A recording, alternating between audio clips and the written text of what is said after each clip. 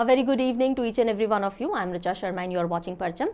March end हो चुका है it is time for our monthly current affair series so आज एक सेशन जो मैं लेती हूँ आपका वो हम लेकर के आए हैं that is M C Q revision session for the whole month of March 2024 right right. इसके अलावा भी पाँच कॉम्प्रिहेंसिव सेशंस होते हैं, जिसमें हम कैटेगरी वाइज पूरे महीने की न्यूज़ को डिटेल में डिस्कस करते हैं।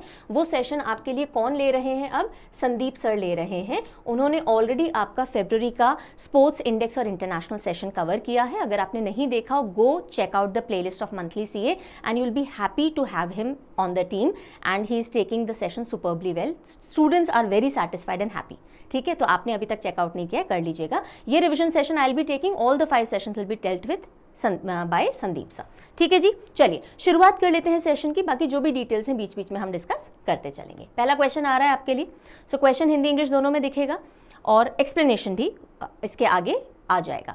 पहला क्वेश्चन है what is juice jacking live chat on है so please keep on answering premiere हो रहा है ये सेशन आपके लिए और आप लाइव चैट में आंसर कर सकते हो। मैं मौजूद रहूँगी to check your answers so what is juice jacking juice jacking क्या है?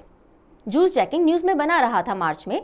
आरबीआई ने एक चेतावनी दी थी जूस जैकिंग से related what is juice jacking so it is tampering with public USB charging ports to steal data यानी कि C is the right answer so so, अगर आप पब्लिक प्लेसेस uh, में जाते हैं जैसे कि आप एयरपोर्ट पे जाते हो रेलवे स्टेशन में जाते हो कई बार आपने देखा होगा चार्जिंग पोर्ट्स लगे हुए होते हैं पॉइंट्स लगे हुए होते हैं इस तरह के।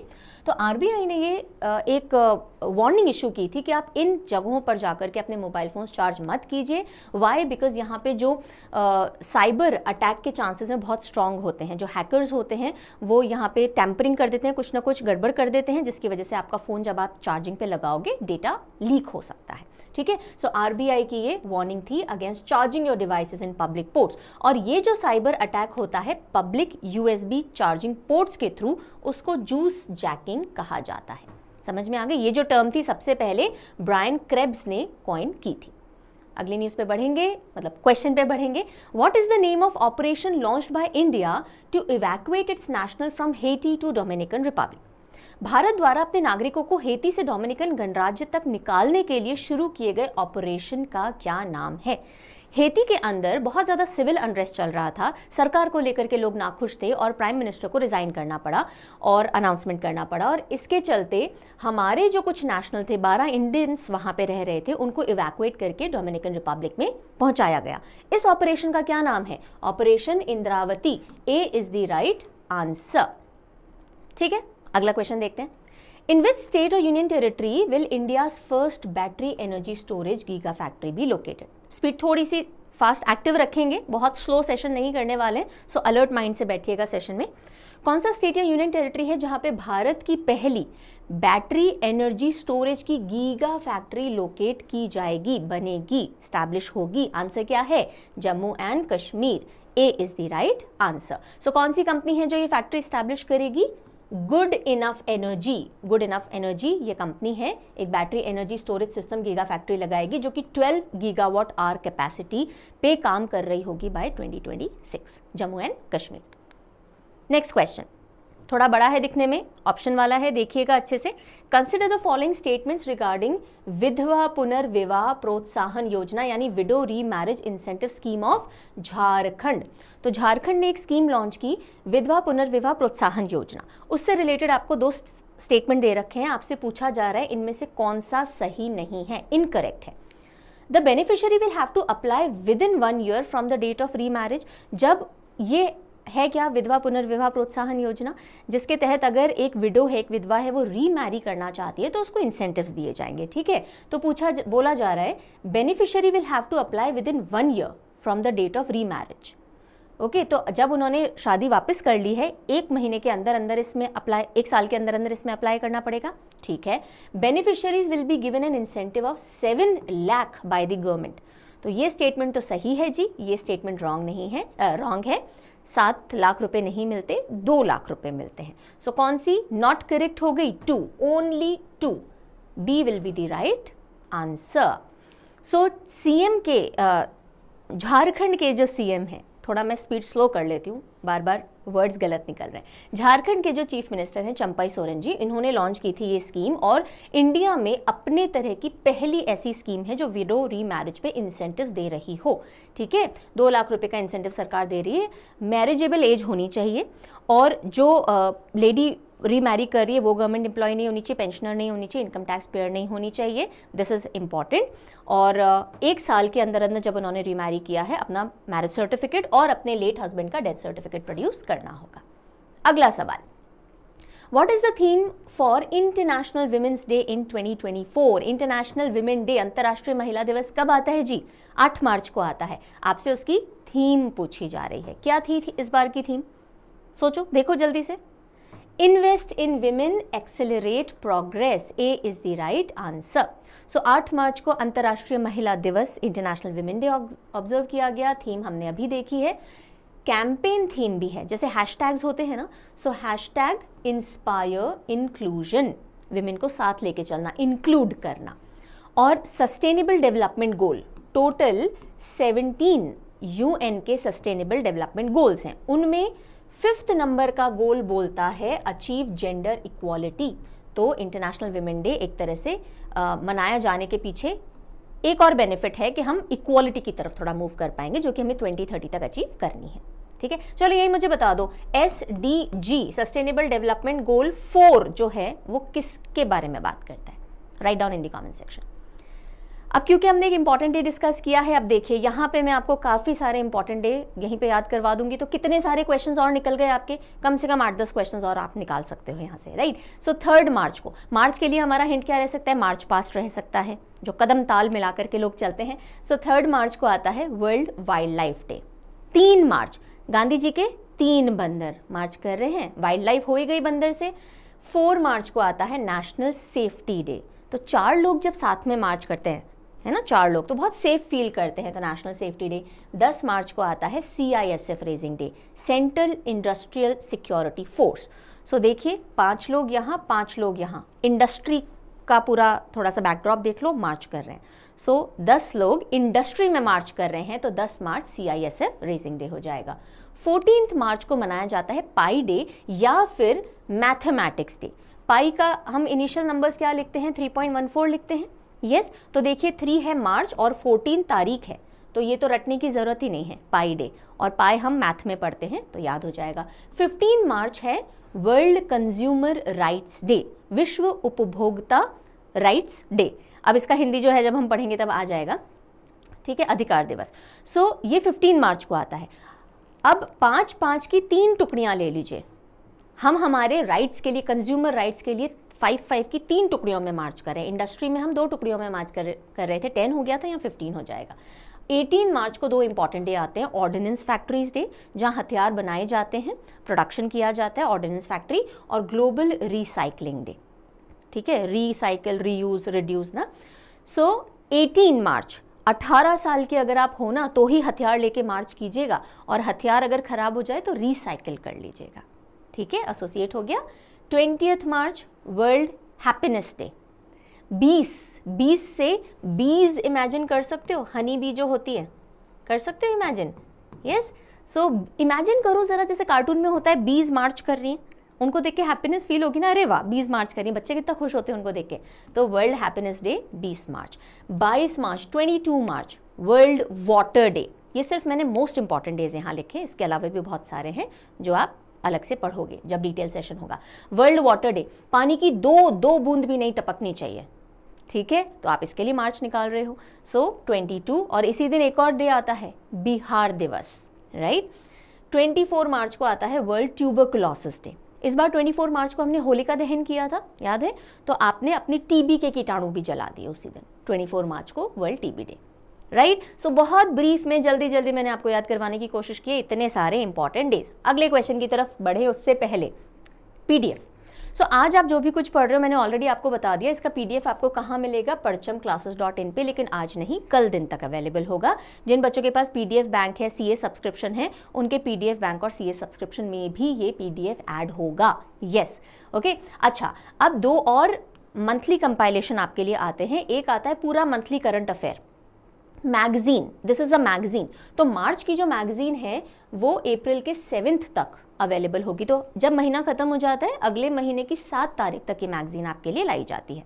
सेवन्थ ऑफ़ अप्रैल तक ये मैगजीन आ जाएगी और हम सवाल ई बुक कंपाइलेशन भी लाते हैं। जैसे मैं आपको 75 क्वेश्चंस अभी करवा रही हूँ विद एक्सप्लेनेशन तो डिटेल एक्सप्लेनेशन के साथ 150 से ज़्यादा एम आपको हर महीने मिलते हैं इस ई बुक में और इसका एनुअल सब्सक्रिप्शन भी मिलता है परचम ऐप पे। Individual website individual PDF website पे मिलेगा। तो मंथली सवाल कब तक आएगी? टेंथ ऑफ़ एवरी मंथ तो सेवेंथ ऑफ़ अप्रैल तक आपको मंथली मैगजीन मिलेगी। टेंथ ऑफ़ अप्रैल तक आपको सवाल ई बुक मिल जाएगी। ठीक है जी? जिनके पास में सी ए सब्सक्रिप्शन है उनके मंथली मैगजीन ऐड होगी, सवाल इन सब्सक्रिप्शन में ऐड नहीं होती है। याद रखिएगा, जो सेशन लिए जाते हैं, सिर्फ़ वही पीडीएफ ऐड होते हैं। और पीडीएफ बैंक भी है। इन दोनों के लिए परचम ऐप आप चेकआउट कर सकते हो। कोई भी क्वेरी कंसर्न है तो हेल्पलाइन नंबर पर कॉल व्हाट्सएप कर सकते हो। टाइमिंग थोड़ा आप ध्यान रखेंगे वर्किंग आवर्स में ही जवाब मिलेगा। कोई भी पीडीएफ रिलेटेड प्रॉब्लम होती है, आपने बाय की, मिल नहीं रही एक्सेस नहीं कर पा रहे हो, गुम गई है हाँ ऐसा भी होता है बच्चों के साथ में। तो आप प्लीज़ मेल कीजिए along with your payment receipt जो भी 10 15 20 40 रुपए की आपने जो भी कुछ खरीदा है, उसका पेमेंट रिसीट भेजिए टाइटल प्रॉपरली लिखिए और टीम आपको हेल्प करेगी या फिर परचम ऐप चैट पे भी आप कॉन्टैक्ट कर सकते हो। आगे बढ़े, अगला क्वेश्चन ले।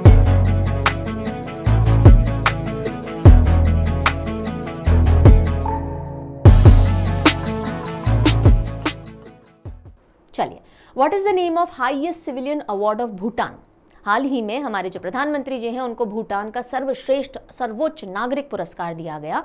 उसका नाम क्या है जी?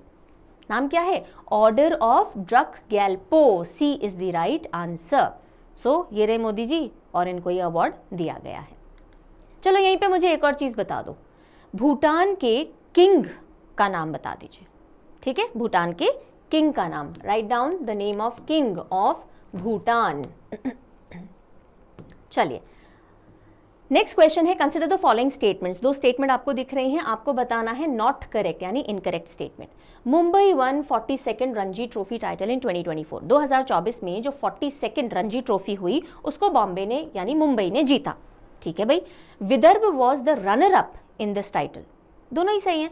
मुंबई जीती थी, विदर्भ को हराया था तो इनकरेक्ट तो इनमें से कोई भी नहीं है neither one nor two D is the right answer Ranji trophy finale में मुंबई ने विदर्भ को हराया और फिनाले कहाँ हुआ? वानखेड़े स्टेडियम के अंदर खेला गया।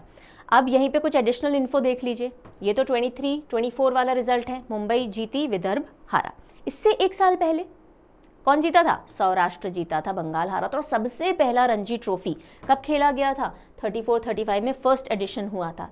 तब भी बॉम्बे अब तो मुंबई बोलते हैं, तब बॉम्बे जीता था और नॉर्दर्न इंडिया को हराया था। डोमेस्टिक क्रिकेट है Ranji trophy, right?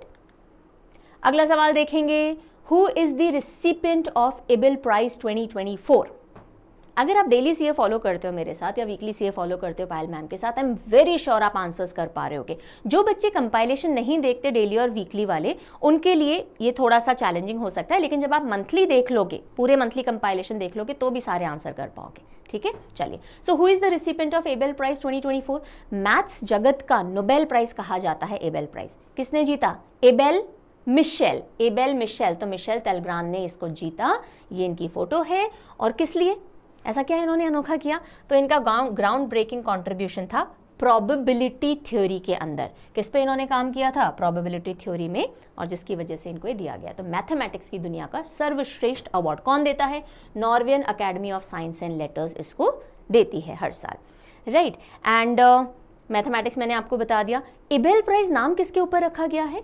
Niels Heinrich Abel Norway के एक बहुत जाने माने मैथमेटिशियन थे अपने समय के, उनके ऊपर ये अवार्ड का नाम रखा गया है। तो कभी पूछ लिया जाए नोबेल प्राइज ऑफ़ मैथमेटिक्स कौन से अवार्ड को कहा जाता है? एबेल प्राइज एबेल प्राइज कौन सी फ़ील्ड में दिया जाता है? मैथमेटिक्स इस बार किसने जीता है? मिशेल टेलीग्राम अगला सवाल। Daniel Kahneman Daniel Kahneman a pioneer of behavioural economics who passed away recently got Nobel prize in economics in which year ये ओबिचोरी से रिलेटेड क्वेश्चन है। देहांत हो जाता है पॉपुलर लोगों का।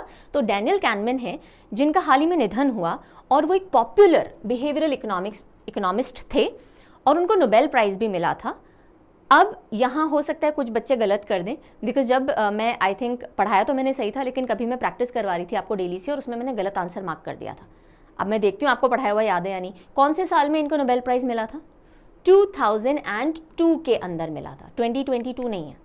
एक बार मैंने गलती से 2022 मार्क कर दिया था। सो डैनियल कैनमैन को नोबेल प्राइज इन इकोनॉमिक्स मिला था 2022 में। ये है वो व्यक्ति। अब ही इज़ नो मोर इन्होंने एक बहुत पॉपुलर बुक लिखी थी thinking fast and slow which institution और मिनिस्ट्री लॉन्च्ड सक्षम ऐप कोई मिनिस्ट्री है, मंत्रालय है या कोई बॉडी है, जिसने हाल ही में सक्षम ऐप लॉन्च की है। आपसे पूछा जा रहा है, कौन सी मिनिस्ट्री या बॉडी है या इंस्टीट्यूशन है? सक्षम ऐप किसने लॉन्च की? इलेक्शन कमीशन ने लॉन्च की थी। और क्यों क्योंकि जो एजड व्यक्ति हैं या फिर जो डिसेबल्ड लोग हैं, जो जाकर के वोट नहीं दे सकते बूथ पे जाकर के, उनको अगर असिस्ट करना है या फिर अगर उनको बूथ पे जाना है और कुछ फैसिलिटीज़ चाहिए तो इस ऐप के थ्रू उनको सपोर्ट दिया जाएगा। इलेक्शन कमीशन की एक और ऐप है जो इन्होंने लॉन्च की सी विजिल ऐप ठीक है, ये भी इलेक्शन कमीशन की है। अगला सवाल देखिएगा। आंसर कर पा रहे हैं? बहुत ज़्यादा फास्ट स्पीड तो नहीं लग रही? लग भी रही है तो एडजस्ट करना पड़ेगा राइट चलिए। थोड़ा सा फास्ट रखेंगे बिकॉज़ सेशन को रिविजन सेशन है। What is the assistance provided to homeless poor individuals under Indiramma housing scheme सवाल किससे रिलेटेड है? Indiramma housing scheme so Indiramma housing scheme के अंदर जो होमलेस पुअर होते हैं, जिनका घर नहीं है और गरीब तबके के लोग हैं तो इंदिरम्मा आवास योजना के तहत बेघर गरीब व्यक्तियों को क्या सहायता प्रदान की जाती है? कौन से स्टेट की स्कीम है ये?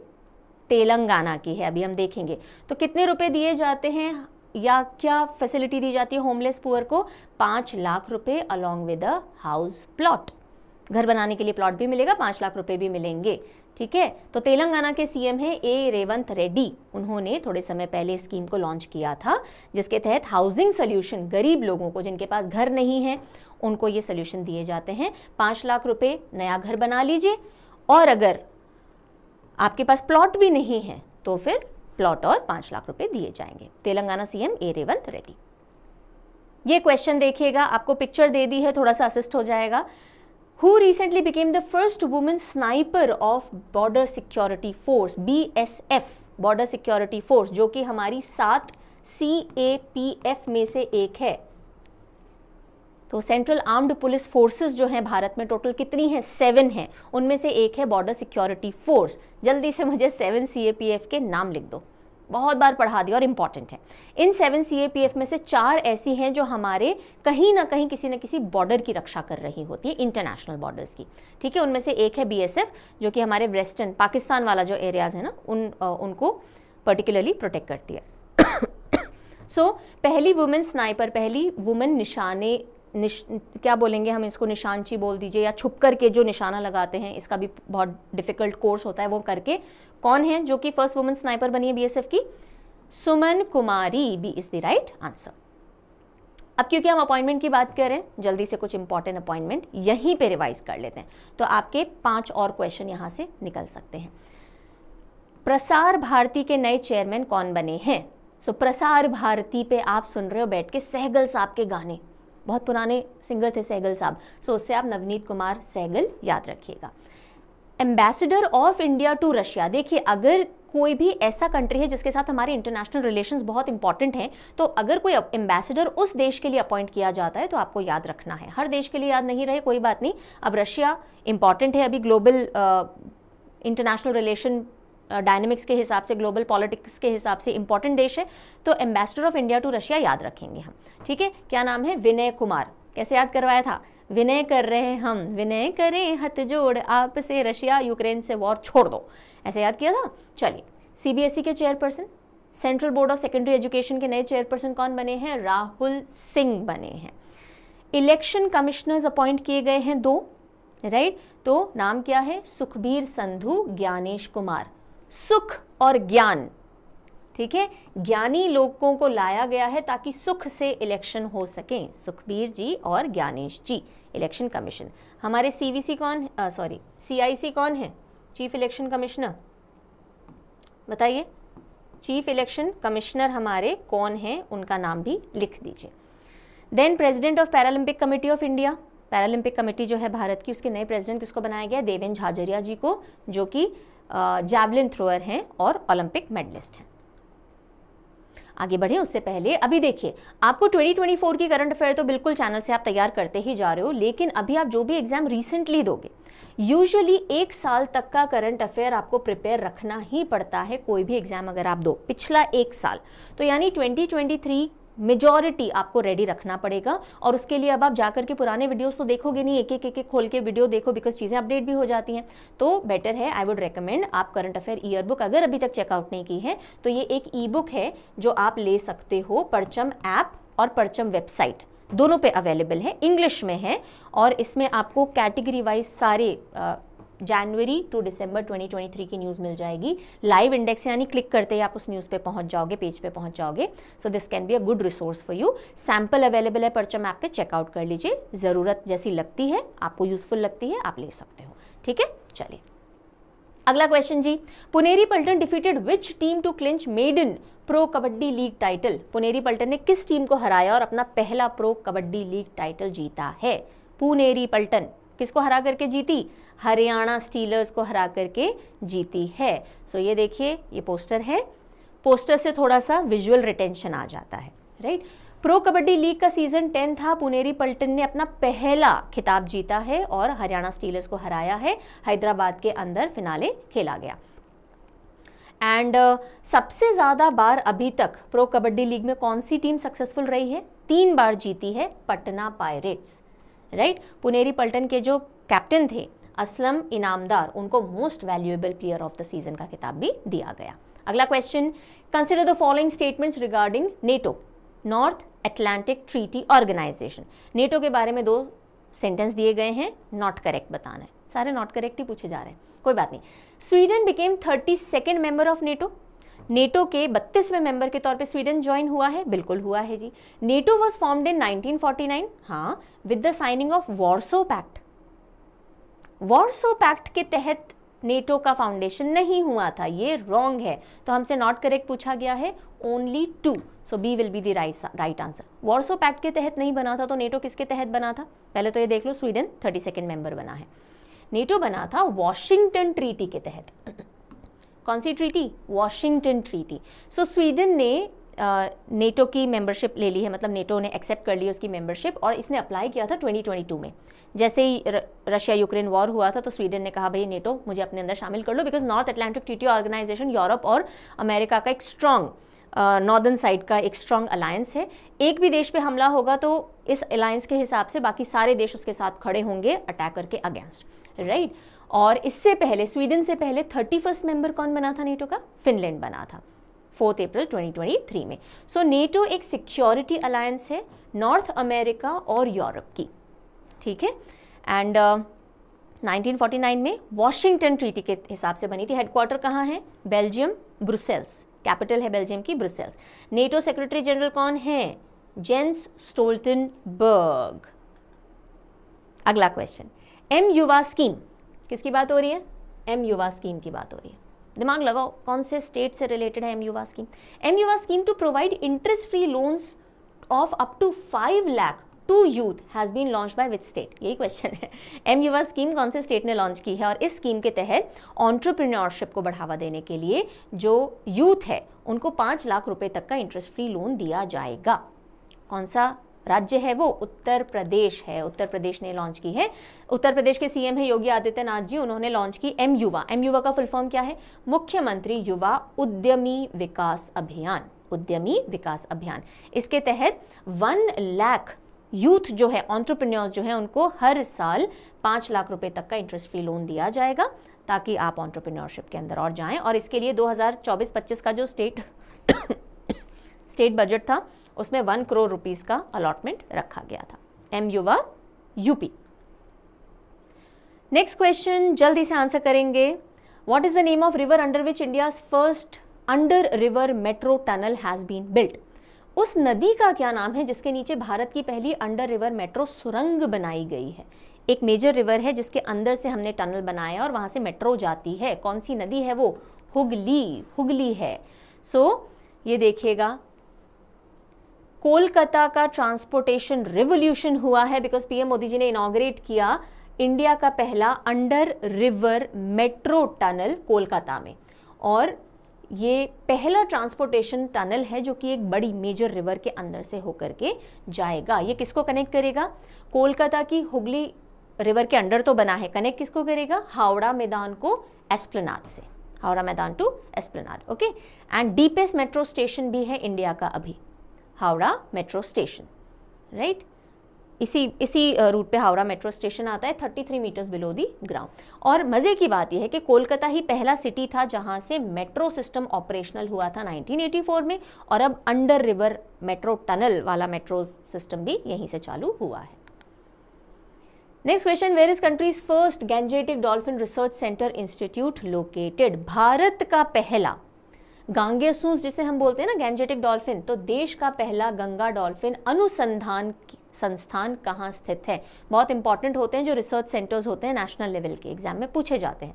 So first Gangetic river dolph river dolphin research centre कहाँ स्टार्ट किया गया है? बिहार के पटना के अंदर किया गया है। ये रहा ये है गैंजेटिक डॉल्फिन इनको दिखता नहीं है।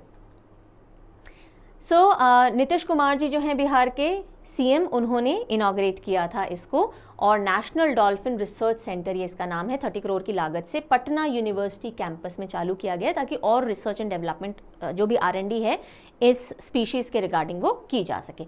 गैंजेटिक रिवर डॉल्फिन हमारी नेशनल एक्वेटिक एनिमल है, ठीक है? और इसका प्लेटिस प्लेटिनिस्टा गेंजेटिका ये इसका जूलॉजिकल नेम है। और इसको कब नेशनल एक्वेटिक एनिमल घोषित किया गया था? 2009 में। IUCN के हिसाब से एंडेंजर्ड है ये एंडेंजर्ड और ये जो प्रोजेक्ट है national dolphin Ganga sorry research centre इसको अप्रूवल 2013 में मिल गया था। किसके प्रयासों से? डॉल्फिन मैन ऑफ़ इंडिया कहे जाने वाले प्रोफेसर आर के सिन्हा जी ने मेजर लीज प्रोजेक्ट को लीड किया था कि एक ऐसा रिसर्च सेंटर बनना चाहिए। Next question for you world wildlife day कब ऑब्ज़र्व होता है? सोचो सोचो सोचो। याद करवाए भी बहुत सारे इंपॉर्टेंट डेज़ अगर पहले से नहीं पता। World wildlife day Gandhi ji के तीन बंदर। सो थर्ड मार्च को आता है। इसकी थीम देखिएगा कनेक्टिंग पीपल एंड प्लानट बंदर इंसानों से भी जुड़े हुए हैं, बंदर प्लानट से भी जुड़े हुए हैं। ऐसे करके कर लीजिएगा exploring digital innovation in wildlife conservation UN General Assembly ने 2014 में 2014 में डेजिग्नेट किया था थर्ड मार्च को as world wildlife day in which Indian state is Chapchar Kut festival recently celebrated एक त्यौहार है छपचार कुट तो ये कौन से स्टेट में मनाया गया? छपचार कुट छप छप छप छप कर रहे हो आप मोज़ा पहन के सॉक पहन के। तो मिज़ोरम मोज़ा होता है ना? Right right? सो so ये पहन के आप पानी में छप छप कर रहे हो छपचार कुट मिज़ोरम का है। ये देखिएगा। सो so, मिज़ोरम का बिगेस्ट फेस्टिवल होता है छपचारकुट और ये कब मनाया जाता है? झूम कृषि जो होती है, झूम एग्रीकल्चर, उसके अंदर फॉरेस्ट को क्लियर किया जाता है। कटाई करते हैं, फिर आग लगा देते हैं। तो जब झूम के चलते क्लियरिंग हो जाती है लैंड की, तब छपचारकुट मनाया जाता है बिकॉज़ बहुत टीडियस टास्क होता है, और सब मिल करके करते हैं। जंगल क्लियरिंग का okay beginning of the year के टाइम पे। नेक्स्ट देखेंगे first ever made in India A S T D S tug जिसका नाम है Ocean Grace has been inaugurated at which major port in India Bharat में पहली बार निर्मित A S T D S tug Ocean Grace का उद्घाटन भारत के किस प्रमुख बंदरगाह पे किया गया है? इंडिया में कितने मेजर पोर्ट्स हैं? मैं इसका आंसर कई बच्चों से गलत एक्सपेक्ट कर रही हूँ। बिकॉज़ ऑनलाइन काफ़ी ज़्यादा रॉन्ग इन्फॉर्मेशन है। लेकिन मैं पढ़ा चुकी हूँ डेली सीए के अंदर, कितने मेजर पोर्ट्स हैं भारत में, लिखिएगा। और उसी के साथ साथ ही बताइए first ever made in India A S T D S tug Ocean Grace कौन से मेजर पोर्ट पे इनाग्रेट किया गया? पैरादीप पोर्ट कहाँ पर है ये? ओडिशा के अंदर है। So A S T D S approved standard tug design and specification Sarbananda Sonowal ji हैं, हमारे यूनियन मिनिस्टर शिपिंग वाटरवेज के। उन्होंने इनाग्रेट किया। 60 टन का बोलार्ड पुल टग। टग्स क्या करते हैं? शिप्स को मूव करवाने के काम आते हैं। डायरेक्शन चेंज करना है पुल करना है धक्का देना है ना? इस तरह से काम करते हैं। सो so, पैरादीप पोर्ट पे और इस टग को किसने बनाया है? कोचिन शिपयार्ड लिमिटेड ने बनाया है। गॉट इट चलिए। Who has been appointed as director general of NIA national investigation agency national investigation agency के डायरेक्टर जनरल मैं बड़े आनंद से इन्वेस्टिगेशन कर सकता हूँ। सदा आनंद में रहते हुए इन्वेस्टिगेशन कर सकता हूँ। ऐसे कुछ याद करवाया था? Sadanand Vasant Date ji. Next question is exercise Samudra Laksamana. Exercise Samudra Laksamana involve maritime cooperation between which two nation Samudra Laksamana अभ्यास में किन दो देशों के बीच समुद्री सहयोग शामिल है? एक्सरसाइज समुद्र लक्ष्मण हुई। कौन से दो देशों के बीच में? एक तो इंडिया था, दूसरा? लक्ष्मण जी को माला पहना दो। मलेशिया। सो इंडिया और मलेशिया के बीच में हुई है। कहाँ पे? विश विशाखापट्टनम के अंदर। सो so, 28 फरवरी से 2 of March 28 February to 2 of March Samudra Laksamana exercise conduct की गई। And Indian naval ship Kiltan ने इसमें पार्टिसिपेट किया है। रॉयल मलेशियन शिप लेकर भी केडी लेकर भी शामिल थी। ठीक है? बायोलेटरल मेरीटाइम एक्सरसाइज है। दो देश शामिल होते हैं। एक इंडिया है दूसरा मलेशिया है। माला पहनाई लक्ष्मण जी को ऐसे याद रख सकते हैं। Who has been appointed the head of parliament security संसद सुरक्षा के प्रमुख के रूप में किसे नियुक्त किया गया है अब संसद की सुरक्षा है तो एकदम ए ए रेटिंग वाली होनी चाहिए ना top class A A class वाली so so, Anurag Agarwal ji right ये है Anurag Agarwal ji which product holds geographical indication tag from Gujarat March के अंदर कुछ जोग्राफिकल इंडिकेशन टैग्स दिए गए थे जीआई टैग्स दिए गए थे और अभी हाल ही में हमने डेली सी में भी पढ़ा है कि 60 प्रोडक्ट्स को और जीआई टैग मिल गया है, जिसमें से कुछ हमने पढ़े थे। So geographical indication tag Gujarat से हाल ही में कौन से प्रोडक्ट को मिला है? इन चारों में से आंसर क्या होगा? अंबाजी वाइट मार्बल अम्बा माता का गरबा खेला जाता है ना गुजरात में तो अंबाजी व्हाइट मार्बल याद रखिएगा। देखिए, अब ये वो सारे इंपॉर्टेंट जीआई टैग हैं जो कि मार्च के अंदर दिए गए थे। वेस्ट बंगाल से बांग्लार मसलिन कपड़ा होता है मसलिन का Banglar muslin muslin West Bengal से। आंध्रा से Narsapur lace crochet project products crochet के प्रोडक्ट्स होते हैं Narsapur lace crochet. So Andhra Pradesh से मध्य प्रदेश से रतलाम रियावान लहसुन। सो so, मध्य प्रदेश में बहुत जम के लहसुन खाया जा रहा है ऐसे याद रखिएगा रतलामी नमकीन तो है ही फ़ेमस गुजरात से अंबाजी व्हाइट मार्बल हमने देखा त्रिपुरा से Risa textile Risa ma'am Richa ma'am. Richa ma'am का आप रीसा मैम भी याद रख सकते हो। ट्री के नीचे बैठी हैं ठीक है? तो रीसा टेक्सटाइल त्रिपुरा की असम से Majuli mask. Majuli largest riverine inhabited island है इंडिया का वर्ल्ड का। और वो माजुली आइलैंड कहाँ आता है? असम में। वहीं पे मास्क बनाए जाते हैं और वहीं पे आ, स्टोरी डिपिक्शन वाले कपड़े भी होते हैं पेंटिंग्स भी होती हैं वो दोनों यहाँ से जी आई टैग है ठीक है? क्विक रिविजन हो गया? चलो, आगे बढ़े उससे पहले। देखिए करंट अफेयर के लिए तैयार करने के लिए वीडियोस देखने के लिए आपको कोई कोर्स खरीदने की ज़रूरत नहीं है। बहुत अच्छे से आप फ्री सोर्स यानी यूट्यूब से अपने करंट अफेयर की तैयारी कर सकते हो। येस बहुत डाउटफुल लगता है कई बच्चों को कि मैम यहाँ से हो जाएगी पूरी तैयारी? डेफिनेटली हो जाएगी। सिर्फ़ मैं बोलती हूँ कि जो यूपीएससी सिविल्स देते हैं बच्चे, उनको और डेप्थ में थोड़ा पढ़ना पड़ता है कुछ टॉपिक्स को। लेकिन बाकी सारे बच्चे आप बिंदास यहाँ से पढ़ सकते हो। अगर आपको लेकिन जीए यानी जी के GA history geography polity economy science static GK की तैयारी करनी है। तो उसके लिए up to date detail content के लिए एक कोर्स हमने आपके लिए ला रखा है। दैट इफ़ यू वांट अगर आपको चाहिए तो आप रेफर कर सकते हो। एसएससी के बच्चों के लिए पर्टिकुलरली ये है। और C P O J E C G L etcetera सब लाइंड अप हैं अभी है ना? सो so, इसके अंदर आपको सारे सब्जेक्ट्स मिल जाएँगे जीए के। इंडिविजुअल भी मिल जाएँगे, साथ में भी मिल जाएँगे। परचम ऐप चेकआउट कर लीजिए। इसमें स्टैटिक जी के मैंने लिया है। आर्ट एंड कल्चर पूरा हम पढ़ेंगे। एनवायरमेंट के काफ़ी टॉपिक्स हैं स्पोर्ट्स के हैं, बहुत सारे और हैं, बहुत सारे टॉपिक्स हैं। ठीक है? तो सिलेबस चेक कर लीजिए इंट्रोडक्टरी वीडियो देख लीजिए फ्री लेक्चर्स दिए हुए हैं, वो देख लीजिए, और फिर भी कोई डाउट क्वेरी कंसर्न है हेल्पलाइन को कॉन्टैक्ट कर लीजिए। ठीक है? I do recommend this course बाकी ऑफ़ कोर्स आप देख के, अच्छे से पढ़ के, और फिर अगर आपको अच्छा लगे, ले सकते हैं। आगे बढ़ेंगे जी। अगला question Where is India's first indigenous prototype fast breeder reactor of 500 megawatt electric located? Bharat का पहला स्वदेशी prototype fast breeder reactor nuclear reactor की बात की जा रही है, जिससे न्यूक्लियर एनर्जी प्रोड्यूस होती है। और फास्ट ब्रीडर है, यानी कि इसमें फास्ट रिएक्शंस होते हैं। उसका प्रोटोटाइप है, यानी अभी छोटे लेवल पे एक बार चेक करने के लिए बनाया गया फिर कमर्शियली इसको किया जाएगा। वो कहाँ स्थित है?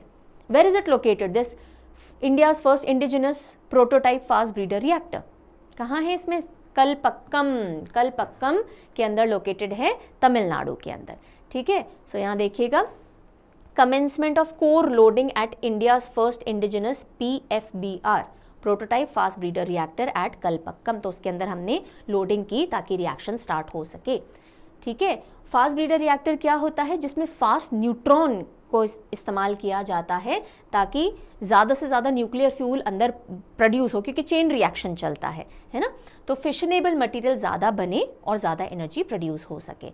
और जब ये कमीशन कर लिया जाएगा, जानी जब ये प्रोटोटाइप अच्छे से काम कर जाएगा और हम इसको प्रॉपरली यूज़ में लाएँगे तो इंडिया सेकेंड कंट्री बनेगा आफ्टर रशिया जिसने अपने फास्ट ब्रीडर रिएक्टर को कमर्शियली ऑपरेट किया होगा। अभी तो प्रोटोटाइप है।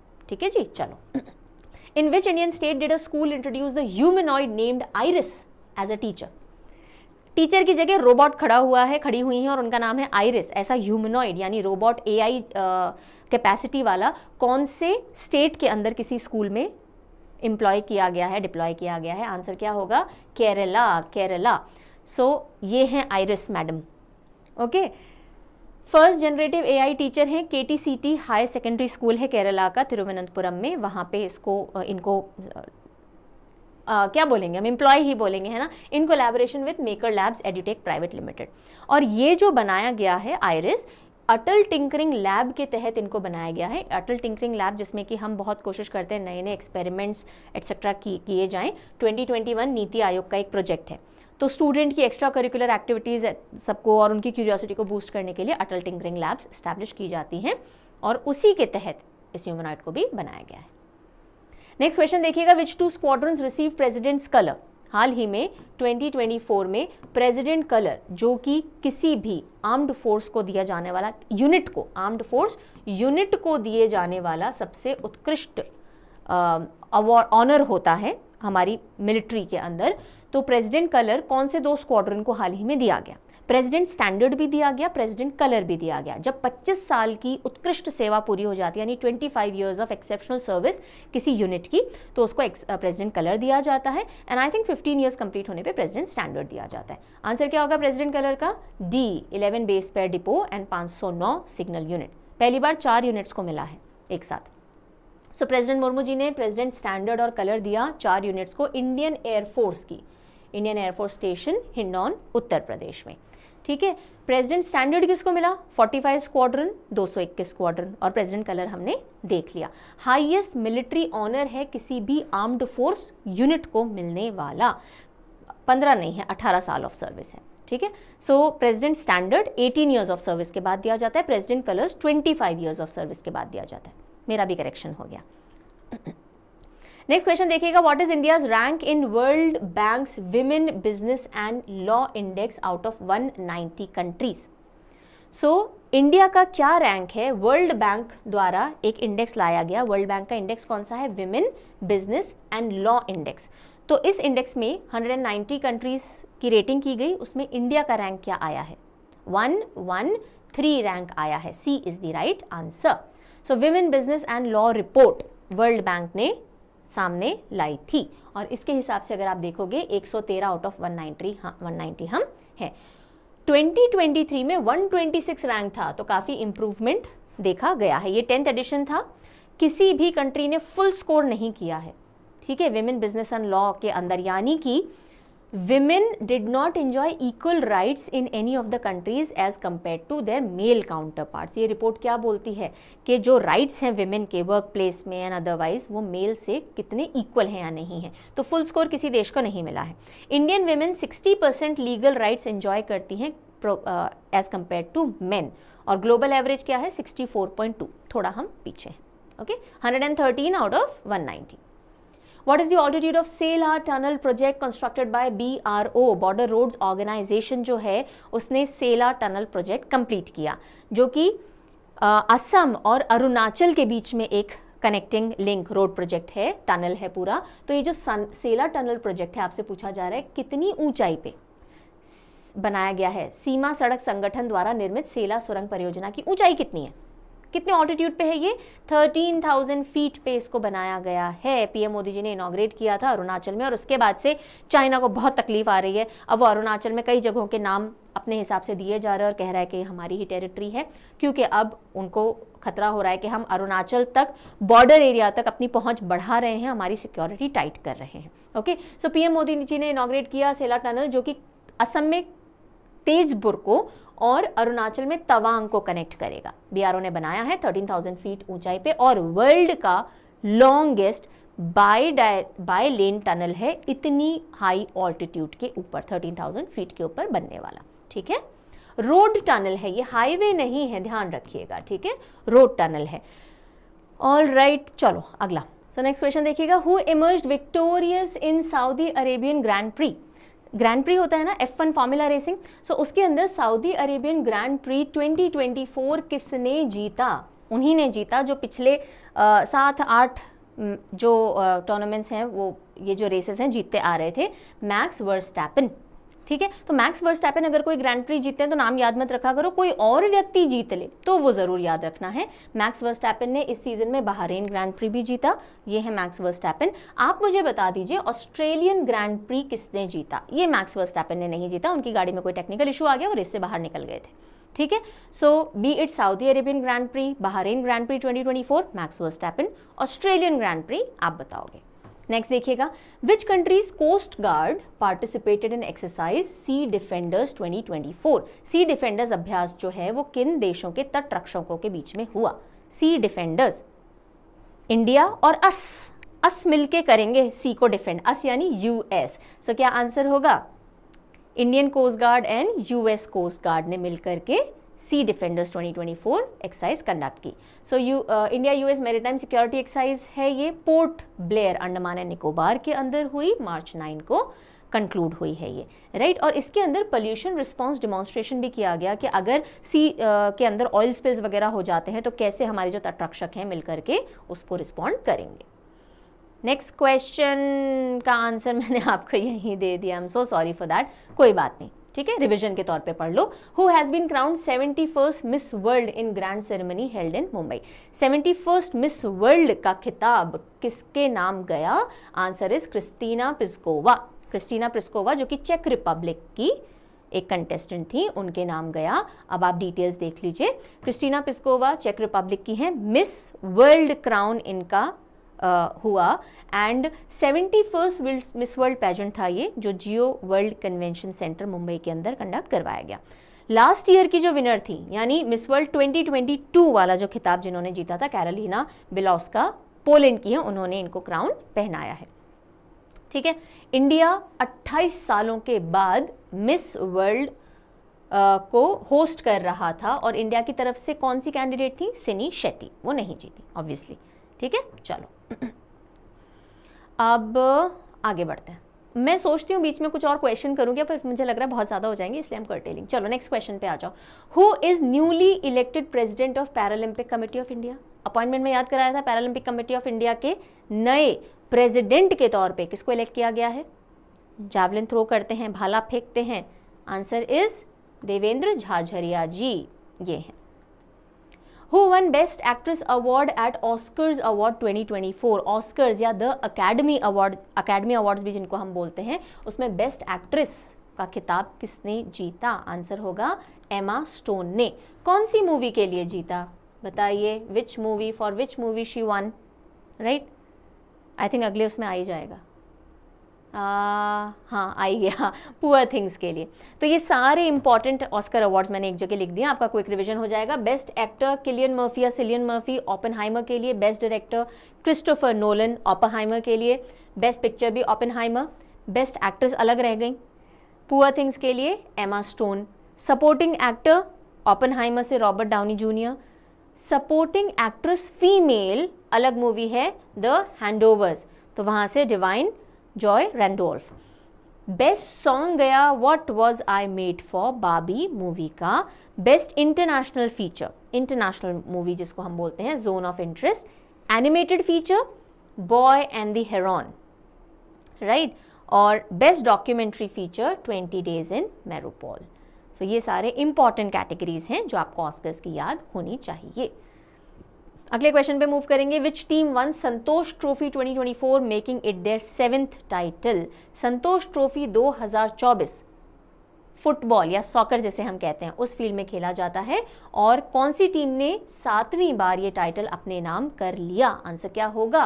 सर्विसेज़ टीम किसको हराया जी? किसको हराया इन्होंने? गोवा को हराया। So seventy seventh national football championship में सर्विसेज़ टीम ने गोवा को हराया और संतोष ट्रॉफी सेवेंथ टाइम अपने नाम की है। अरुणाचल के अंदर फिनाले खेला गया।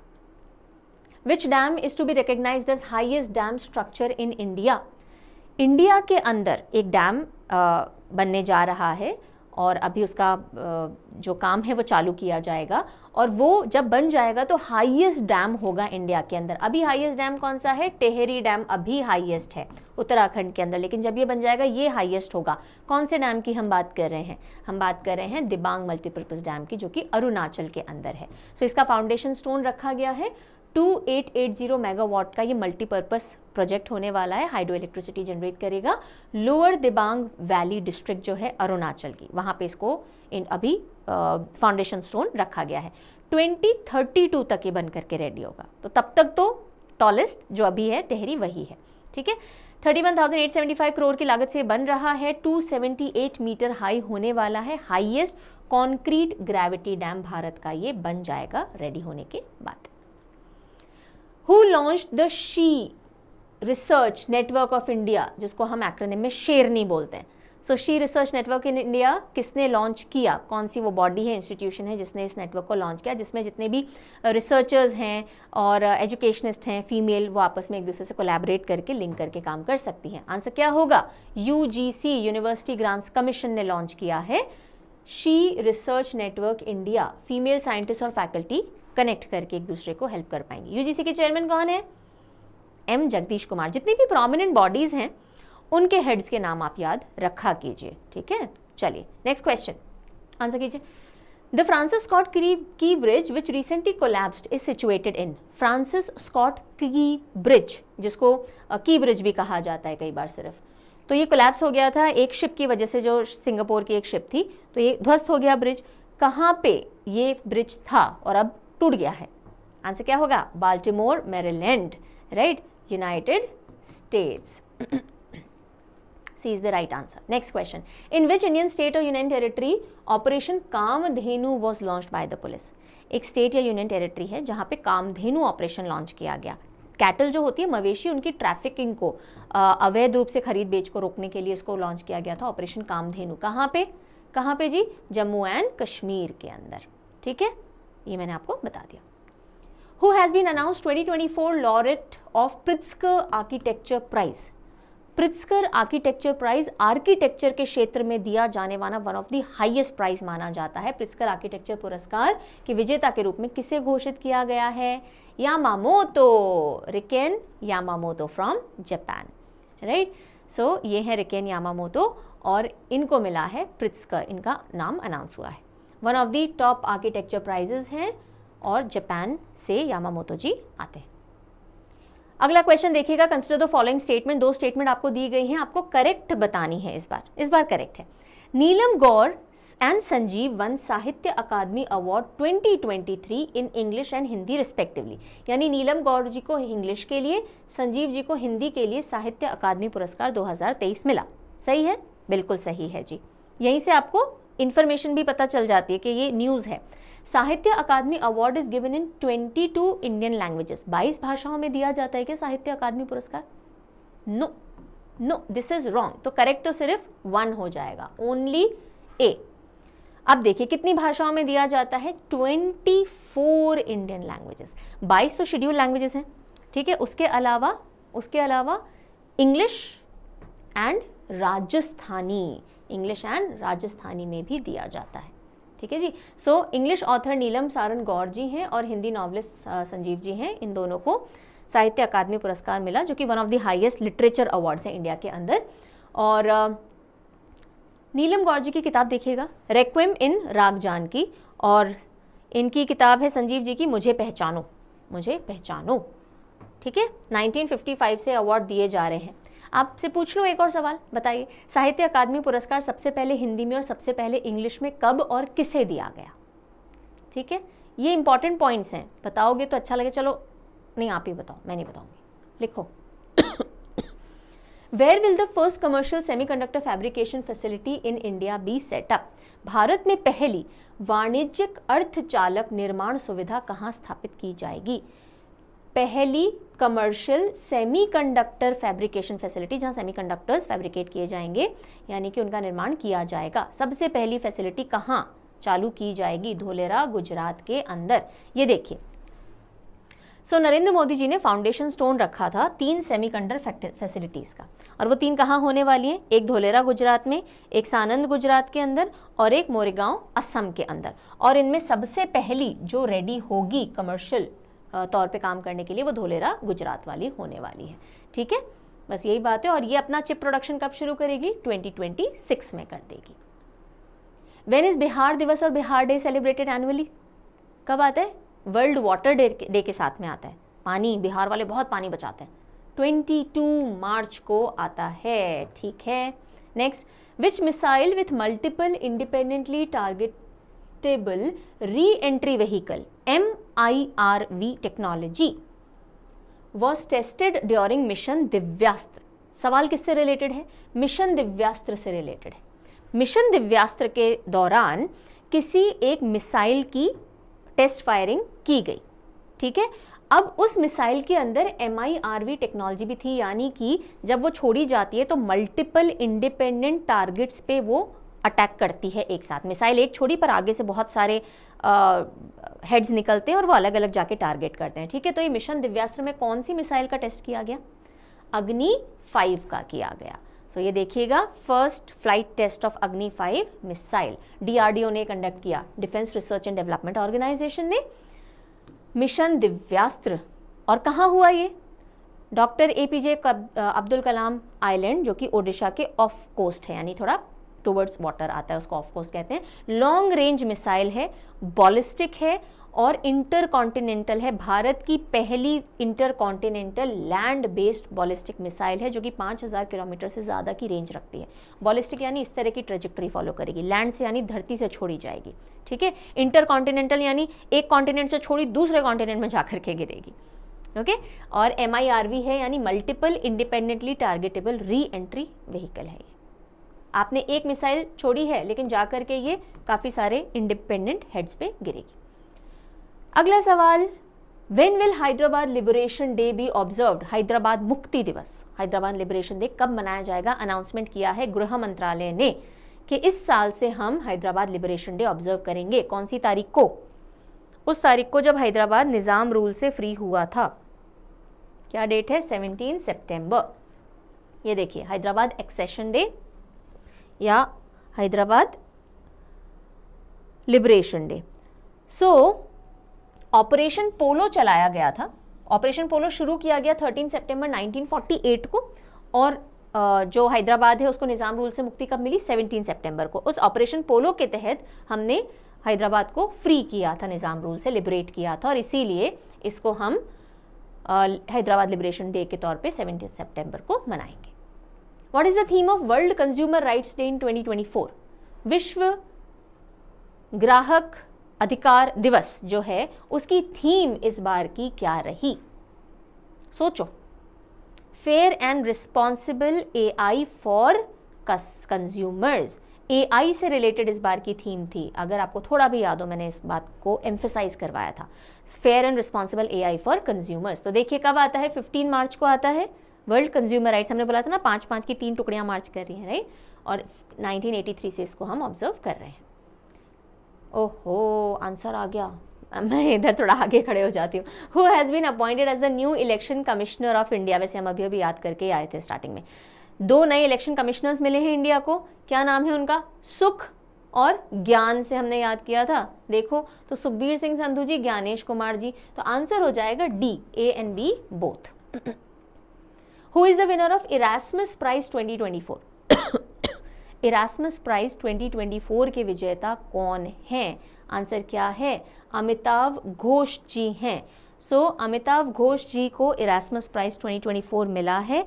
क्लाइमेट चेंज में उन्होंने जो अपना वर्क किया है लेखन किया है उसकी वजह से ये प्राइज़ दिया गया है। एंड अमिताभ घोष जी के बारे में मैं बताऊँ ज्ञानपीठ पुरस्कार जो सबसे हाईएस्ट ऑनर लिटरेरी फ़ील्ड में भारत में दिया जाता है लेखन के क्षेत्र में ज्ञानपीठ पुरस्कार सबसे पहले इंग्लिश के लिए जीतने वाले अमिताभ घोष जी थे।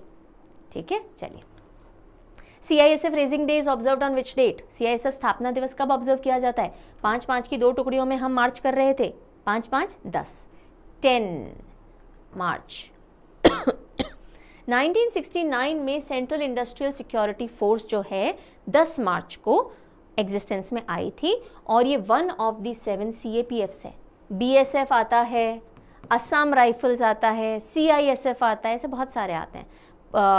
सीआरपीएफ आता है सीएपीएफ के अंडर में तो ऐसे टोटल सेवन सीएपीएफ हैं, जिनमें से एक सीआईएसएफ भी है। कौन है डायरेक्टर जनरल सीआईएसएफ की? नीना सिंह जी हैं। नीना सिंह जी हैं। एडिशनल डायरेक्टर जनरल भी अपॉइंट हो चुके हैं। Additional director general of CISF देखिएगा और पता चल जाए तो लिख दीजिएगा कमेंट सेक्शन में। काफ़ी सारी चीज़ों के आंसर मैं दे रही हूँ, काफ़ी सारों के आप दोगे, ये इशू क्या हो रहा है? मैंने एनिमेशन लगाए थे, लगे नहीं हैं संभाव कंसिडर द फॉलोइंग नेम्स आपको चार नाम दिए गए हैं, आपसे पूछा जा रहा है, इनमें से किन को भारत रत्न 2024 नहीं मिला है? ठीक है? पीवी नरसिम्हा राव जी मिला है, चौधरी चरण सिंह जी मिला है एम एस स्वामीनाथन जी मिला है, पंडित मदन मोहन मालवीय जी नहीं, इनको 2024 में नहीं मिला, इनको 2014 में 2014 में मिला था 14 में ही मिला था। ठीक है? तो नॉट कॉन्फर्ड आंसर क्या हो जाएगा? Only four D will be the right answer इस साल 2024 में पाँच लोगों को भारत रत्न से सम्मानित किया गया। चार लोग पॉस्थ्यूमसली यानी मरणोपरांत, इनको आफ्टर डेथ सम्मानित किया गया। चौधरी चरण सिंह जी, पी वी नरसिम्हा राव जी कर्पूरी ठाकुर जी और एम एस स्वामीनाथन जी और एल के अडवाणी जी को भी भारत रत्न मिला। जीवित व्यक्ति हैं। ठीक है, यही सब यहाँ पे लिखा हुआ है कि प्रेसिडेंट मुर्मू जी ने दिया है देश का सर्वोच्च नागरिक पुरस्कार highest civilian honour Bharat Ratna. कितने लोगों को? पाँच लोगों को। ठीक है, इससे पहले तीन से ज़्यादा लोगों को भारत रत्न मिला था 1999 में चार लोगों को। ये मैं आपको क्यों बता रही हूँ? बिकॉज़ भारत रत्न के लिए कहा जाता है कि एक साल में मैक्सिमम तीन लोगों को ही दिया जा सकता है। लेकिन 1999 में चार लोगों को दिया गया 2024 में पाँच लोगों को दिया गया। ये दोनों एक्सेप्शनल ईयर्स हैं। सो फॉर्मर प्रधानमंत्री रह चुके पीवी नरसिम्हा राव जी और चौधरी चरण सिंह, ये दोनों प्रधानमंत्री रह चुके हैं। Agriculture scientist M S Swaminathan, जिनको हम फादर ऑफ़ ग्रीन रेवोल्यूशन भी कहते हैं। दो बार बिहार के सीएम रह चुके कर्पूरी ठाकुर जी और डेप्यूटी प्राइम मिनिस्टर रह चुके और बीजेपी के बहुत वरिष्ठ नेता एल के आडवाणी जी, इन पाँच लोगों को भारत रत्न से सम्मानित किया गया। नेक्स्ट क्वेश्चन देखेंगे। What is India's rank on global human development index as per UNDP in 2022 2023-24 की रिपोर्ट सामने आई यूनाइटेड नेशन की ह्यूमन डेवलपमेंट इंडेक्स से रिलेटेड। और उसमें 2022 के आंकड़ों के बेसिस पे यूएनडीपी ने यूनाइटेड नेशन डेवलपमेंट प्रोग्राम ने H D I human development index की रैंकिंग सामने लाई। ठीक है तो इंडिया का रैंक क्या रहा? हमारा रैंक रहा 134 कितने देशों में से? 193 कंट्रीज़ में से। और पिछला जो रैंकिंग आया था 2021 का 191 में से हम 135 रैंक पे थे। ठीक है? तो United Nation human development index में हम एक पोजीशन से बेहतर हुए हैं और रिपोर्ट का नाम क्या रहा? Breaking the gridlock reimagining cooperation in a polarise world human development report तेईस चौबीस यूएनडीपी ने रिलीज़ की. टॉप पे कौन रहा? ह्यूमन डेवलपमेंट इंडेक्स में स्विट्जरलैंड रहा. ठीक है? चलिए. Which organisation release gender inequality index 2022 एक और इंडेक्स आ गया जी. किस संगठन ने लिंग असमानता सूचकांक 2022 जारी किया? इसी रिपोर्ट के अंदर ये इंडेक्स भी दिया गया। यूएनडीपी की जो हम रिपोर्ट देख रहे हैं, उसमें HDI ह्यूमन डेवलपमेंट इंडेक्स आया, उसी रिपोर्ट में जेंडर इनक्वालिटी इंडेक्स भी आया। तो मैंने तो आंसर ही बता दिया। यूएनडीपी यूएनडीपी ने ही रिलीज़ किया है। जेंडर इनक्वालिटी इंडेक्स यानी कि जेंडर के बीच में कितना गैप है? In a lot of areas जो अपॉर्चुनिटीज़ मिलती हैं, उनमें काफ़ी सारी चीज़ों में तो जेंडर इन इक्वालिटी इंडेक्स के अंदर भारत का रैंक है 108 आउट ऑफ़ वही 193 कंट्री तो एचडीआई में 134 है जेंडर इन इक्वालिटी में 108 है। लास्ट ईयर हम 191 से 122 रैंक पे थे। 191 कंट्रीज़ में से 122 पे थे, इस बार 193 में से 108 पे है। काफ़ी इंप्रूवमेंट दर्ज किया है हमने। नेक्स्ट देखेंगे who headed the high level committee on one nation one election one nation one election के भारत में क्या सारे चुनाव, जो इलेक्शन है, एक साथ होने चाहिए? इसके लिए कमेटी का गठन किया गया था कि आप रीड कीजिए स्टडी कीजिए रिसर्च कीजिए और बताइए अपनी रिकमेंडेशन उस कमेटी के हेड के तौर पे एक राष्ट्र, एक चुनाव पर उच्च स्तरीय समिति का नेतृत्व किसने किया? पूर्व प्रेसिडेंट रामनाथ कोविंद जी ने किया। अब पोस्टर देख लो। रामनाथ कोविंद जी ने और इन्होंने अपनी रिपोर्ट प्रेसिडेंट जी को दी थी। इस हाई लेवल कमेटी ने बोला है कि हाँ जी, होने चाहिए वन नेशन वन इलेक्शन और ये जो इनकी रिपोर्ट थी, अट्ठारह हज़ार सिक्स ट्वेंटी सिक्स पेजेस की थी वन नाइन्टी वन डेज़ तक रिसर्च करके इन्होंने रिपोर्ट दी, जिसमें इन्होंने कहा कि लोकसभा के और स्टेट असेंबली के जो इलेक्शन हैं, एक साथ होने चाहिए और सौ दिनों के अंदर अंदर लोकल बॉडीज़ के, पंचायत वगैरह के भी हो जाने चाहिए। इसके लिए इन्होंने पूरा सिस्टम वगैरह बताया, जो हमने डिटेल में अलग से पढ़ा है। आप मंथली में पढ़ोगे। उफ़ पोस्टर्स ने मुझे दुखी किया है, किसी पे एनिमेशन नहीं लगा है। Who is the author of the book the conspiracy to oust me from presidency ये जो किताब है the conspiracy to oust me from presidency ये किसने लिखी है? श्रीलंका के पूर्व प्रेसिडेंट रह चुके गोटबया राजपक्ष जी ने लिखी है। गोटबया राजपक्ष, इन्होंने कहा कि भाई, इनके टाइम में श्रीलंका ने बहुत इकोनॉमिक क्राइसिस देखा था राइट तो इन्होंने कहा कि भाई, ये मुझे गद्दी से हटाने के लिए साजिश थी ओके चलिए who has been appointed as managing director and CEO of Bank of Maharashtra. Bank of Maharashtra के CMD, CEO and managing director के रूप में किसको नियुक्त किया गया बैंक ऑफ़ महाराष्ट्र बहुत पैसा होगा महाराष्ट्र के बैंक के पास है ना निधि से रिलेटेड निधु सक्सेना निधु सक्सेना जी को who is the proposed sorry what is the proposed new name for ahmednagar district in maharashtra as approved by maharashtra cabinet Maharashtra में अहमदनगर ज़िले का प्रस्तावित नाम क्या है, जिसको महाराष्ट्र के मंत्रिमंडल ने मंजूरी दे दी है कि अहमदनगर का नाम चेंज होकर के अब ये हो जाएगा। क्या नाम होगा जी? अहिल्या नगर बिल्कुल सही। आज का session is all about this picture bluff who was announced as the ECI national icon with the, in the persons with disability category. Election commission of India जो है, उन्होंने नेशनल आइकन बनाए पीडब्ल्यूडी कैटेगरी में, यानी person with disability category में। और किसका नाम आया? कौन है ये?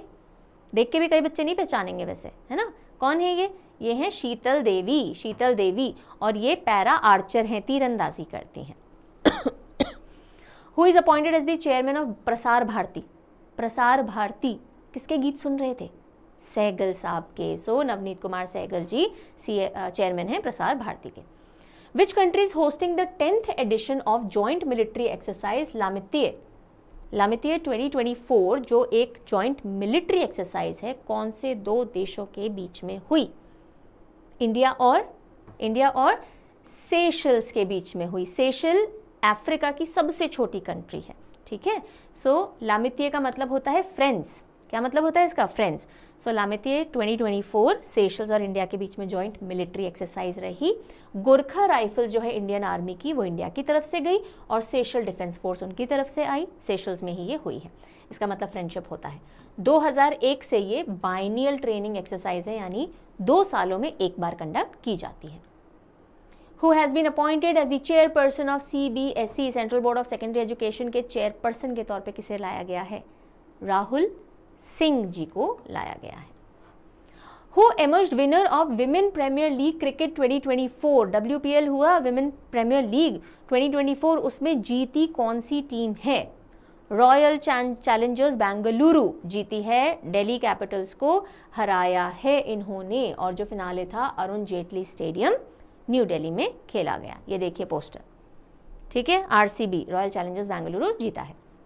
टोटल कितनी टीम्स ने पार्टिसिपेट किया डब्ल्यूपीएल के अंदर इस बार?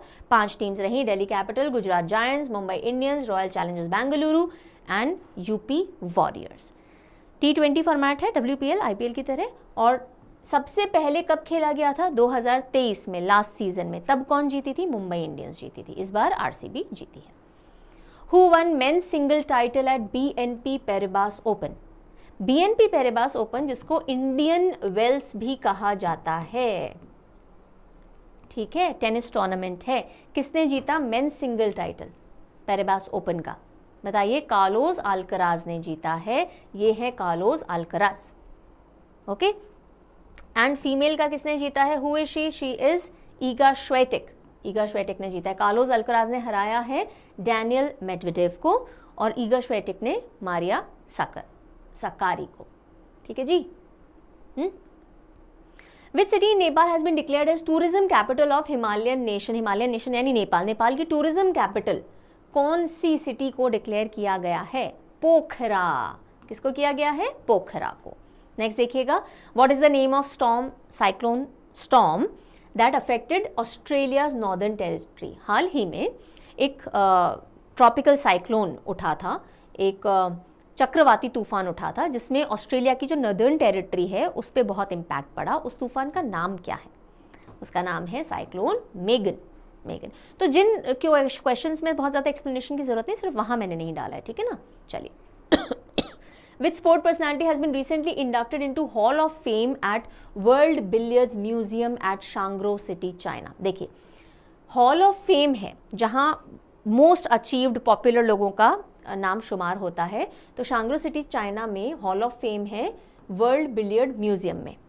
वर्ल्ड बिलियर्ड्स तो बिलियर्ड्स की दुनिया में हॉल ऑफ़ फेम में कौन सी स्पोर्ट पर्सनालिटी को हाल ही में जगह मिली है? इंडिया से। इंडिया से। क्या नाम हो जाएगा? पंकज अडवाणी नेक्स्ट देखिएगा। In the UN world happiness report UN world happiness report what is India's ranking happiness में हमारी रैंकिंग क्या बारह बटे छः याद है क्या? याद है? हाँ? संयुक्त राष्ट्र विश्व खुशहाली रिपोर्ट में बारह बटे छः मैंने ऐसे याद कराया था। So one twenty six is our ranking ये देखिएगा। आउट ऑफ़ 143 कंट्रीज़ हम 126 रैंक पे हैं। फिनलैंड सबसे खुशहाल देश है, आबादी कम, लफड़े कम, खुश रहते हैं। लगातार सेवेंथ ईयर में वो सबसे हैप्पीएस्ट है। Who has been selected for Sangita Kalanidhi award of the music academy 2024 2024 के संगीत कला निधि अवार्ड जो कि Carnatic music south Indian music जो है, उसमें one of the highest award माना जाता है संगीत कला निधि किसको दिया जाएगा? टी एम कृष्णा जी को. ये है T M Krishna ji. The music academy जो है चेन्नई के अंदर वो देती है. तो उन्होंने नोटेड कर्नाटिक वोकलिस्ट है सिंगर हैं टी एम कृष्णा जी, इनको संगीत कला निधि अवार्ड जाएगा। 22 मार्च किस तरह से ऑब्ज़र्व होता है? दो दिनों की तरह से ऑब्ज़र्व होता है। यहाँ पे देखेंगे तो वर्ल्ड वाटर डे बिहार दिवस भी आता है इस दिन, अभी हमने देखा था। चलिए बाकी भी ट्राई करो। World tuberculosis day TB day कब आता है? हमने होलिका दहन में टीबी के कीटाणु जलाए थे 24 मार्च, okay? World consumer rights day हमारे राइट्स के लिए हम पाँच पाँच की तीन टुकड़ियों में, यानी 15 मार्च। सेफ्टी डे सेफ़ फील कब करते हैं? चार लोग जब साथ में मार्च करते हैं तो फोर्थ मार्च को ठीक है Among the following countries, which one had the worst air quality according to Air Quality Report 2023? Air Quality Report 2023 के हिसाब से worst air quality IQ Air ने ये रिपोर्ट uh, रिलीज़ की थी सो so, इसके हिसाब से वर्स्ट एयर क्वालिटी कौन से देश की है बांग्लादेश की है followed by Pakistan third number पे आता है India who will be India flag bearer at 2024 Paris Olympic games Paris Olympics जो खेले जाएँगे कब खेले जाएँगे? लिखो। पेरिस में खेले जाएँगे तो पता है कब खेले जाएँगे। सो so, उसके अंदर इंडिया के फ्लैग बेरर जो ध्वज लेकर के लीड करेंगे हमारे पूरे जो टीम्स यहाँ से जाएँगी उनका क्या नाम है? शरद कमल है टीटी प्लेयर है veteran TT player MC Mary Kom chef de mission यानी कि हमारी पूरी कंटिजेंट को जो हमारा पूरा टीम्स जाएँगी, उनको गाइड करेंगी मेंटोर करेंगी, लेकिन फ्लैग बेरर शरद कमल बनने वाले हैं। How many players participated in the event that set Guinness world record for highest number of kabaddi players हाल ही में हमने गिनीज वर्ल्ड रिकॉर्ड बनाया, जिसमें बहुत सारे लोगों ने एक साथ कबड्डी खेली है। ठीक है, कितने प्लेयर्स थे कबड्डी खेलने वाले? 128 प्लेयर्स थे, और ये रिकॉर्ड हमने पंचकुला, हरियाणा के ताऊ देवी लाल स्टेड, इंडोर स्टेडियम में बनाया है। ठीक है? 128 प्लेयर्स और ये वर्ल्ड कबड्डी डे पे रिकॉर्ड बनाया गया। वर्ल्ड कबड्डी डे कब आता है? वही होलिका दहन जो इस बार हमने किया। तो कबड्डी खेल रहे थे टीबी के कीटाणु हमारे अंदर हमने उनको होलिका दहन में डाल दिया। मार्च 24 ही है क्योंकि ये भी। नेक्स्ट क्वेश्चन देखेंगे। Who recently became the first Indian cricketer to score 12,000 run in T twenty format T twenty format के अंदर 12,000 रन बना लेने वाले भारत से पहले खिलाड़ी कौन बनते हैं? कौन बनते हैं? विराट कोहली बनते हैं ठीक है? और विश्व में सबसे पहले खिलाड़ी कौन थे? 12,000 रन पूरे करने वाले टी में क्रिस गेल थे ठीक है? टोटल विश्व में अभी कितने खिलाड़ी हैं टी में? 12,000 रन पूरे करने वाले सिक्स प्लेयर्स हैं सिक्स बन गए हैं Virat Kohli. Next who has been appointed as director general of N D R F national disaster response force राष्ट्रीय आपदा प्रतिक्रिया बल के महानिदेशक के रूप में किसने कार्यभार संभाला है? कौन अपॉइंट किए गए हैं? सो so, जब भी राष्ट्रीय आपदा नेशनल डिजास्टर आता है ये जाके वहाँ पे पी यू पी यू कोयल की आवाज़ निकालते कि एक बार आप डिजास्टर से परेशान हो शांत हो जाओ एक बार। ऐसे याद करवाया था आई नो बहुत रिडिकुलस है पर एग्ज़ाम में ज़रूर याद आएगा Piyush Singh ji. Who authored the book title from a car shed to corner room and beyond car shed से कॉर्नर रूम यानी इंपॉर्टेंट रूम एंड बियॉन्ड ये किताब किसने ऑथर की? कार शेड में भी आप टॉप रेमिन खा रहे थे। कॉर्नर रूम में भी आप टॉप रेमन खा रहे हो, ऐसे याद किया था? एस रमन जी ये किताब है। और S Raman ji former CMD यानी चेयरमैन एंड मैनेजिंग डायरेक्टर रह चुके हैं कैनरा बैंक के। Where is world first temple designed in the shape of sacred Om situated Om के आकार में बना हुआ विश्व का पहला मंदिर। अभी अंडर कंस्ट्रक्शन है, लेकिन इनॉग्रेट कर दिया गया है। वो कहाँ स्थित है? कौन से स्टेट के अंदर? Answer is Rajasthan. ये है वो मंदिर ओम के आकार का, जो कि अभी बन रहा है। इसका नाम है ओम आकार मंदिर। और राजस्थान में पाली डिस्ट्रिक्ट में जादन गाँव के अंदर ये स्थित है। ठीक है जी? सेवेंटी फाइव क्वेश्चन हो भी गए आपको पता नहीं पड़ा? मुझे बहुत पता पड़ा मुझे पढ़ाना पड़ा। चलिए सो so, ये आपका क्वेश्चन ऑफ़ द डे है इसका आंसर आप कमेंट सेक्शन में लिखेंगे। Who translated the first Magahi novel Phool Bahadur into English Magahi भाषा जो एक इंडियो आर्यन लैंग्वेज है जिसको मगधी भी कहा जाता है उसमें नॉवल लिखी गई एक उसका टाइटल है फूल बहादुर और ये ऐसी पहली मगधी भाषा की नॉवल बन जाती है जिसको इंग्लिश में ट्रांसलेट किया गया है। ठीक है? इस किताब को लिखा था जयंत पति ने। किसने लिखा था? जयंत पति ने। और लेकिन इसको इंग्लिश में ट्रांसलेट किसने किया ये आपसे पूछा जा रहा है।